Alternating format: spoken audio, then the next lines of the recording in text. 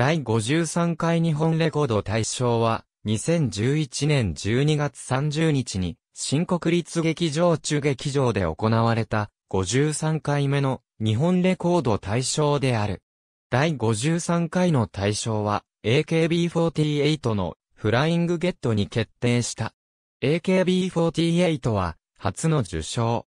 女性歌手の受賞は、第47回の高田未来6年ぶり。オリコン年間シングルチャート1位及び TBS の音楽番組、カウントダウン TV 年間シングルランキング1位の楽曲が受賞したのは、第42回の津波以来11年ぶり。大賞受賞曲を発表したプレゼンターは、日本作曲家協会会長、制定委員長の服部克久。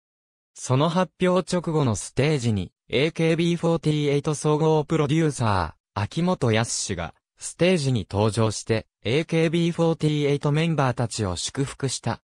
秋元康は作詞家として、数回、日本レコード大賞で優秀作品賞を獲得しながら、一度も大賞を獲得しておらず、この曲で初受賞となった。最優秀新人賞はフェアリーズに決定した。ABEX 所属歌手の受賞は、第47回のトリプル A 以来6年ぶり。プレゼンターは、諮問委員の徳倉俊一。大賞、最優秀新人賞ともに、女性グループが受賞したのは、日本レコード大賞史上、初となるものであった。1996年の第38回から総合司会を務めた堺正章は、この回を最後に勇退。後任は安住紳一郎で次回から総合司会を務める。史上初の4連覇が有力視されていた EXILE は日本レコード大賞や日本有線大賞といった今年度のショートリーレースでの受賞をすべて辞退することを表明。同グループの日本レコード大賞参加自体の申し出については優秀作品賞を決定する審査委員会による審査を前に主催者側へ伝えられ、 EXILEの Rising Sun は対象候補となる優秀作品10作品に選ばれなかった。2011年は日本を元気にをテーマに活動し、東日本大震災発生後はこのテーマによる慈善活動が中心になったことが背景にあると言われている。